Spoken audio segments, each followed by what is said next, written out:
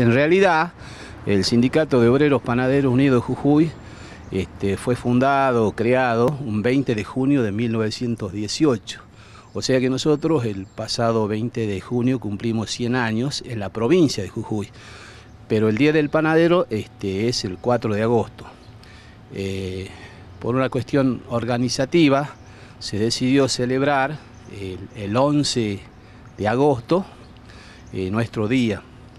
En consecuencia este, se está trabajando en eso, eh, se va a hacer en un local muy conocido de la zona de Los Perales, eh, así que invitamos a todos nuestros afiliados a participar del evento, ¿no?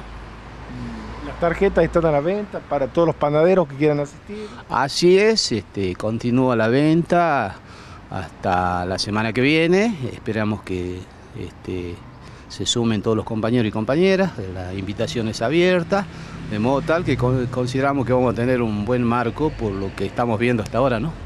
Por los 100 años se destacó ¿no? que es uno de los sindicatos más antiguos de la provincia. Así es, nosotros somos, eh, no creo equivocarme, pero uno de los primeros gremios fundados en la provincia de Jujuy. Y a nivel nacional somos el cuarto gremio en antigüedad, ¿no? porque eh, convengamos que el PAN es milenario, en la época de los egipcios, así que es una institución gremial añeja del movimiento obrero. ¿no?